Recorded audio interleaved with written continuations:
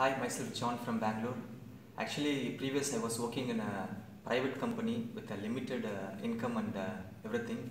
But once I joined to Hanu Reddy, I feel that uh, my potential is going to be used for maximum, and I have a great opportunity and uh, hope and faith, and uh, as well as I have a good mentors, I have a good leaders in uh, HRR to push me up to use my full potential.